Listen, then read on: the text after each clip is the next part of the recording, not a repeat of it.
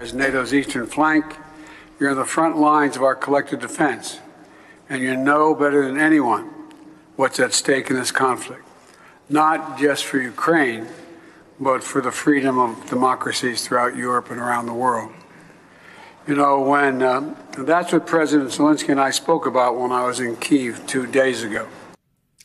That was President Biden in Poland today. The New York Times quoted one Russian citizen today who does support Vladimir Putin's war, saying she doesn't understand why it has taken Putin so long to defeat Ukraine. Quote, I don't understand why it's become so drawn out. It's a pity. Everyone in their families already has at least some acquaintances who died. Our next guest is Nadia Tolokonnikova, founding member of the Russian protest art collective Pussy Riot. Her new art installation at the Jeffrey Deitch Gallery in Los Angeles last month is called Putin's Ashes.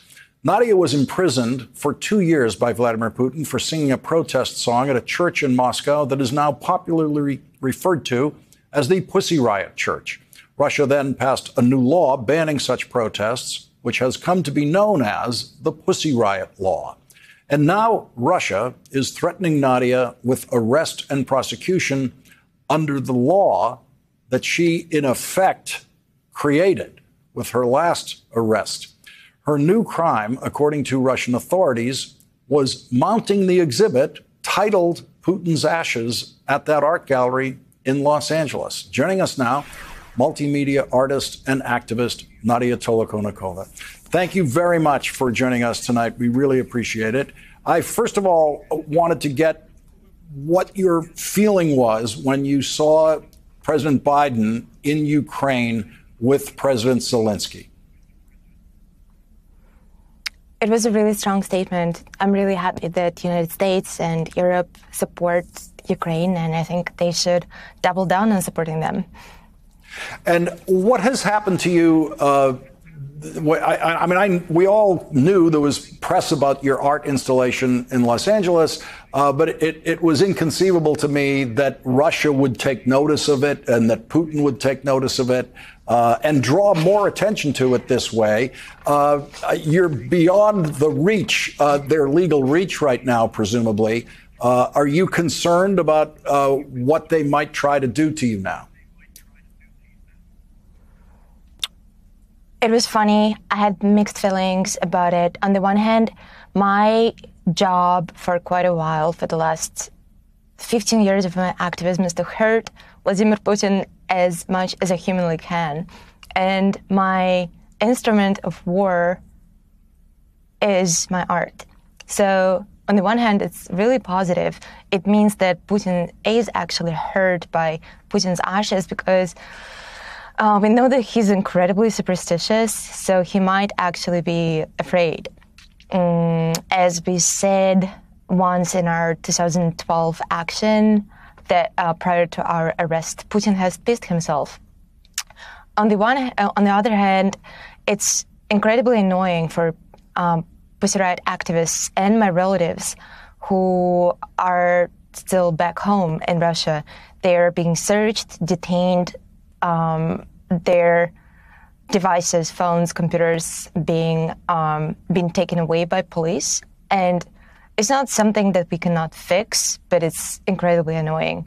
But my personal answer is to um, just increase my efforts, bring Putin's ashes to other institutional spaces.